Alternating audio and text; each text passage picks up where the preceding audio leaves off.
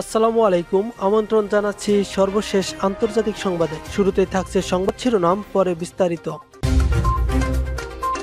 সিনহা হত্যা মামলায় ওসি প্রদীপ এবং ইনচার্জ লিয়াকতের মৃত্যুদণ্ড।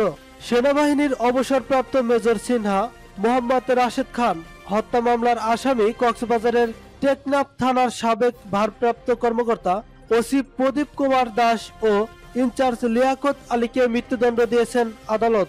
আজ সোমবার বিকাল চারটা বারো মিনিটে কক্সবাজারের জেলা ও দায়রা জজ আদালতের বিচারক মোহাম্মদ ইসমাইল সোমবার এ রায় ঘোষণা করেন।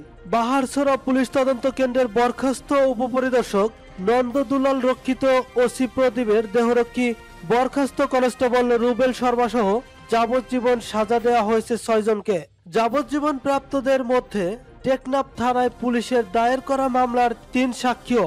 রায়ে এপিবিএন এর তিন সদস্য সহ সাতজনকে খালাস দেওয়া হয়।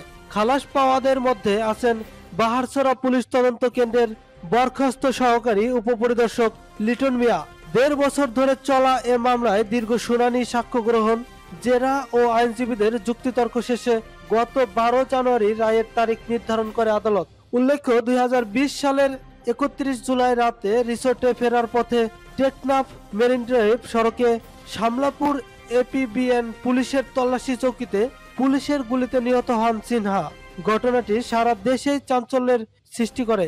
হত্যাকাণ্ডের পাঁচ দিন পর পাঁচ আগস্ট সিনহার বড় বোন শারমিন শাহরিয়ার ফেরদোস বাদী হয়ে কক্সবাজার জ্যেষ্ঠ বিচারক হাকিম তামান্না ফারার আদালতে হত্যা মামলা দায়ের করেন। আসামি করা হয় টেকটপ থানার তৎকালীন ওসি প্রদীপ কুমার দাস। বাহারছড়া তদন্ত কেন্দ্রের পরিদর্শক লিয়াকত আলী, উপপরিদর্শক নন্দদুলাল রক্ষিত সহ পুলিশের নয় সদস্যকে। আদালত মামলাটির তদন্ত ভার দেয় কক্সবাজারের র্যাব পুনারকে।